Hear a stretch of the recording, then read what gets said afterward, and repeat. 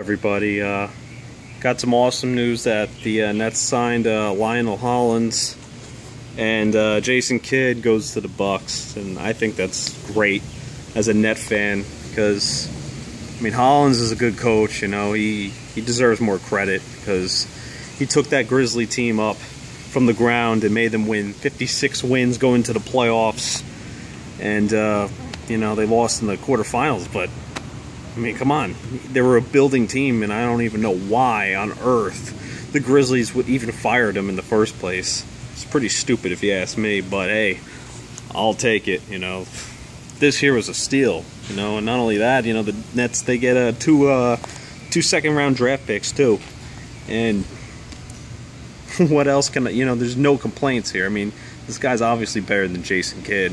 You know, Jason Kidd's lucky that he didn't even get fired because first the first half of last year he was doing terrible. They were a losing team and you just like they had all this talent, didn't even know how to use it.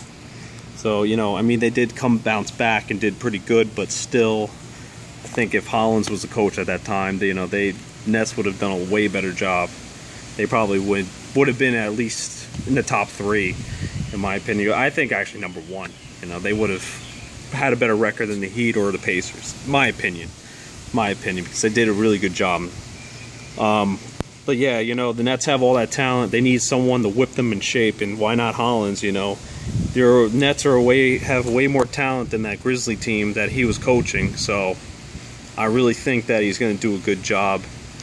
As for Jason Kidd, I mean, he's just going to fail on the on the Bucks. I mean, he's pretty much he pretty much committed coach suicide, but what do I care? Because he pretty much he, he hates every other coach that he's been with. I don't know why. It's that's just Jason Kidd, I guess. But yeah, he's gonna go nowhere. I mean, he's gonna do. He's gonna last a few years on the Bucks. They're gonna go nowhere. They're gonna fire him, and no other team's gonna want him. So good riddance. I don't care. Whatever. He's still a good player, but you know he did good for the Nets back in the day, but whatever. He's Jason Kidd anyway. But uh, yeah, Hollins though he's gonna do a good job. I'm very happy with this as a net fan. So you know, like this video, comment, whatever, share your thoughts on this because uh, it's a good day for net fans.